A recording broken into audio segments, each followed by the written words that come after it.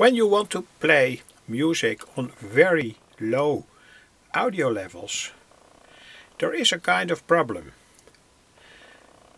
And I mean very low le audio levels in a living room. Uh, and this filter was made to compensate somewhat for the loss of the low frequencies. Uh, when music is played quite loud, all frequencies um, are heard by the human ear more or less equally in general. But when the music is played on a very low level, there's a quite a big loss of the low frequencies. So this filter compensates that problem somewhat. And now I'm playing music here.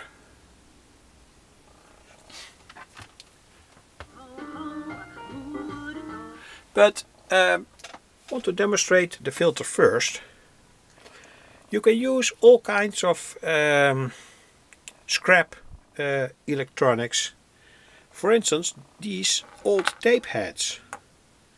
This is a magnetic tape head.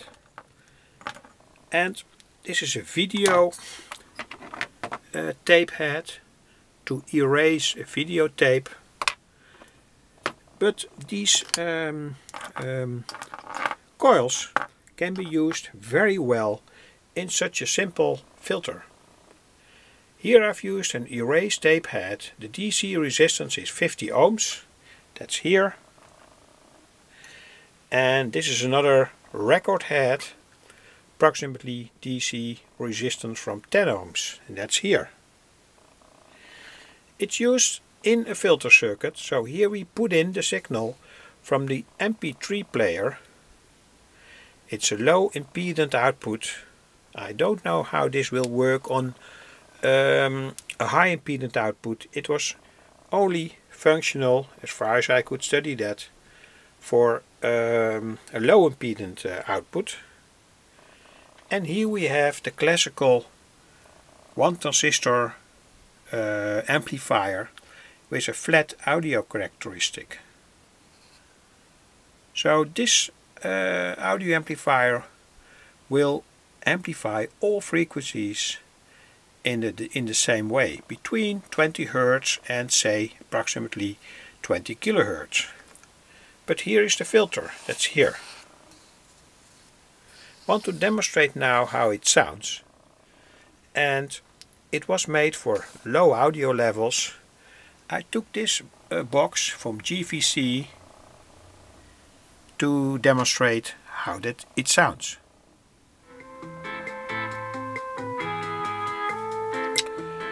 This is quite a high uh, audio level for a living room. Though, of course, uh, I don't know how big your living room is, but let's say uh, 5 at 5 meters or so. And I want to demonstrate now how this filter um, reacts on different settings from the potentiometers and also from these two coils.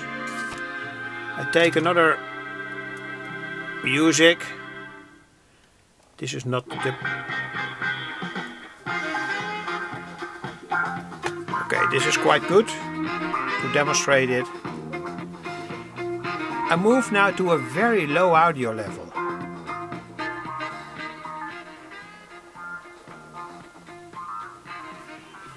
This is the, the music. And I turn the potentiometer here, this one, 50k.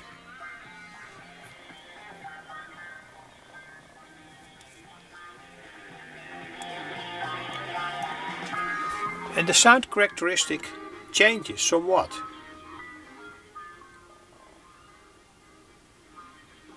Not only the strengths but also how the music sounds that has to do with the strength of the signal. Now I turn this potentiometer here, 1K. you don't hear so much differences but when you tune the 50k potentiometer you can hear differences and that also depends on the music that you play. Perhaps it's audible, somewhat more high and here some loss of high frequencies. So that works. And now I'm going to demonstrate uh, uh, these three inputs from the erase head, from the record head, directly to the cap from, from 680 nanofarad and without the cap directly into this part of the circuit. Okay, let's do it. The record head, 10 ohms. The uh, erase head, somewhat lower. The sound is more rounded, in my opinion. Sounds more round. Now without uh, the erase head or the other head directly to the 680 here nano cap and let's turn the potentiometers now also to demonstrate it.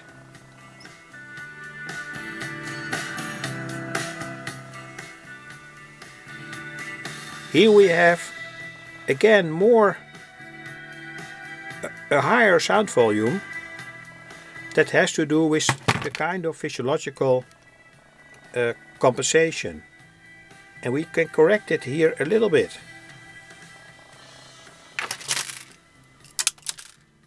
Back to this level.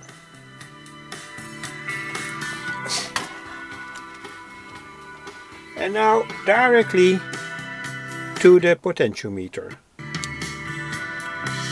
So now the MP3 player is connected here.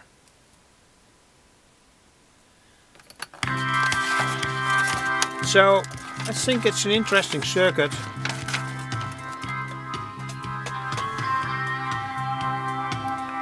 Now I go back to the very low audio level. So this is for instance on an evening when it's quite late and only a tiny sound is produced by the loudspeaker boxes. And it still has to sound good.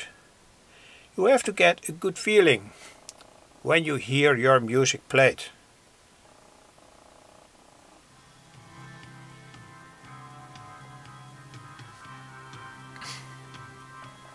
Again, now connected to the erase head.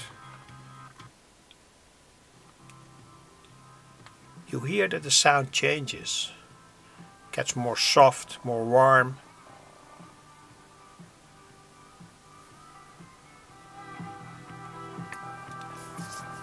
And now to the record head.